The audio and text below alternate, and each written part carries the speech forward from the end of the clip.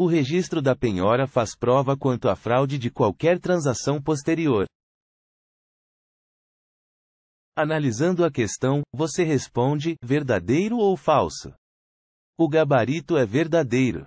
Artigo 240 O registro da penhora faz prova quanto à fraude de qualquer transação posterior.